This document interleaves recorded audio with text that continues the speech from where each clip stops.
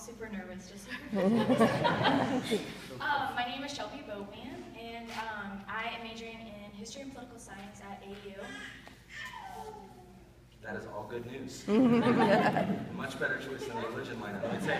Uh, Shelby, why today? Why is today the day? Okay, um, so yeah, the past three years at AU um, has been like a really um, life-changing experience. Sorry. There's no crying in Um. baseball. but there is sometimes in church, so we're gonna allow. Okay. Um, yeah, it's been it's been an amazing time. It's also been a like a, a different experience. Um, my grandpa just passed away um, last year, so um, I really We're all here for you. we believe in you. You're gonna get through this.